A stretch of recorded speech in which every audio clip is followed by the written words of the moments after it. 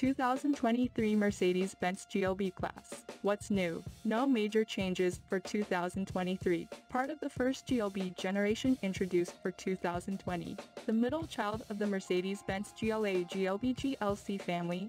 The GLB is larger than the subcompact GLA and smaller than the GLC, with an appropriate price point between them. Boxy, in a way that creates more space and carves out a silhouette all its own, the GLB features comfortable, upright seating and a premium interior leaving no question about its place as a luxury SUV, replete with current technology, including the brand's excellent MBUX infotainment system. The GLB is also equipped with a generous set of driver assist systems. One such example is pre-safe sound, which emits a unique noise through the stereo speakers to protect your hearing when a collision is imminent.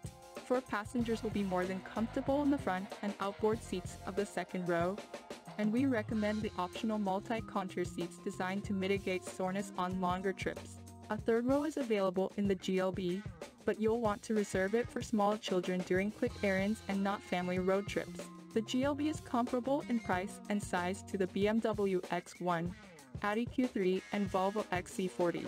Of the four models, the GLB may not be the most exciting to drive unless you choose the AMG GLB 35 variant. What it does have going for it is superior comfort, a wonderful seating position and effective technology. Read on for more information about the Mercedes-Benz GLB from our expert rating team. The GLB is an attractive luxury SUV for the money. Its boxy shape gives it a distinctive look and provides extra passenger and cargo space. Throw in some of the best technology available on the market and you've got one of the best small luxury SUV around. How does the GLB class drive?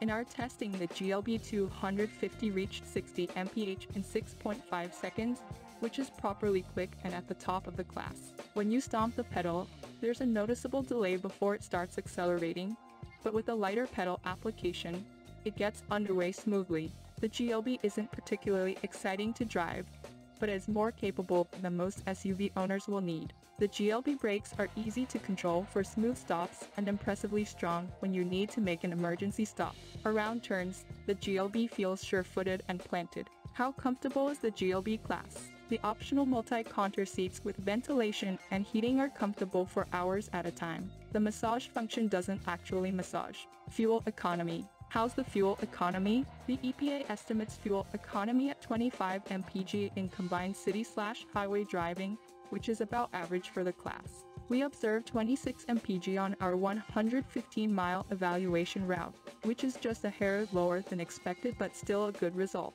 We suspect the EPA figure should be achievable with a light foot.